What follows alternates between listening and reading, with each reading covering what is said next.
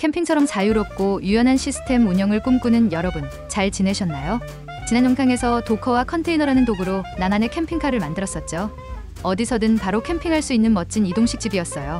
그런데 이제는 저 전국에 수백 개의 캠핑카를 굴리는 사업자가 돼버렸습니다.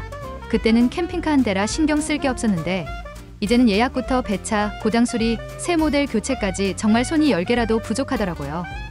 휴. 그래서 꺼낸 비장의 자동화 무기 바로 Kubernetes예요. 이름은 좀 낯설죠? 하지만 하는 일은 간단합니다. 많은 캠핑카를 자동으로 대신 관리해주는 시스템이에요.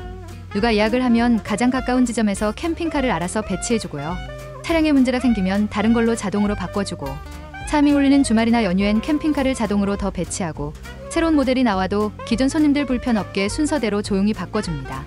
이 덕분에 사람 손을 거의 쓰지 않고도 캠핑카 수백 개를 실시간으로 효율적으로 운영할 수 있게 된 거예요. 조금 더 쉽게 비교해 볼게요. 캠핑카 한 대 한 대는 하나의 앱이나 기능 덩어리예요. 각각 캠핑카가 특정 기능을 맡고 있다고 보시면 돼요. 예약 관리 시스템이 한 대, 실시간 위치 추적 기능이 또 한 대, 후기 작성 기능도 또 다른 한 대가 되는 거죠. 그리고 캠핑카가 주차된 공간은 컴퓨터 서버 같은 거고요. Kubernetes는 그 모든 걸 통제하는 중앙 운영 본부예요.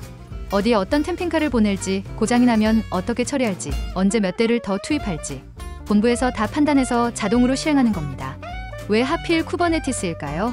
수많은 비슷한 시스템 중 Kubernetes가 업계에서 표준으로 자리 잡은 이유는 딱 네 가지입니다.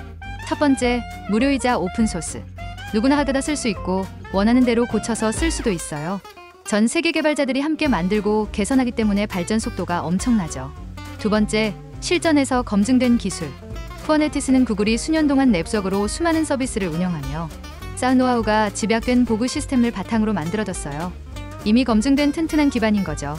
세 번째, 커지는 생태계. 전 세계 수많은 기업과 개발자들이 Kubernetes를 사용하고 관련 도구를 만들면서 거대한 생태계를 이루고 있어요. 네 번째, 클라우드 독립성. AWS, Azure, GCP 등 어떤 클라우드 환경에서든 똑같이 작동해요.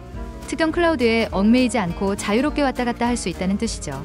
이런 강력한 장점들 덕분에 Kubernetes를 마치 기술의 표준어처럼 쓰게 된 겁니다. Kubernetes가 오픈소스로 세상에 공개된 순간, 그건 단순한 기술 하나가 퍼진 게 아니라 세상을 바꾸는 방식이 달라지기 시작한 순간이었습니다. 이제는 혼자만 알고 있다고 강해지는 시대가 아니에요. 공유하는 사람, 함께 나누는 사람들이 세상을 이끌고 있습니다. 지식을 나누는 것, 그리고 그 안에서 함께 성장하는 것. 그게 지금의 IT를 만들었고, 앞으로의 미래를 만들어갈 진짜 힘이 아닐까요?